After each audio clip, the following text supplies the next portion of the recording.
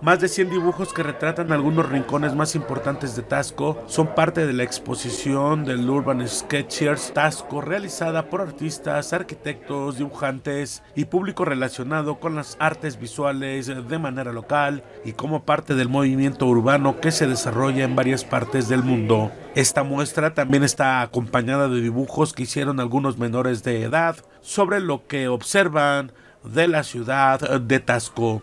Este, los dibujos valen lo que cada quien le impregna, sobre todo si lo hace con pasión. Entonces nos, reunimos y quisimos hacer el capítulo en, la ciudad de Tasco, aquí, porque creo que hay mucho valor, ¿no? Mucho valor para hacer arte, para dibujarlo, para expresarlo.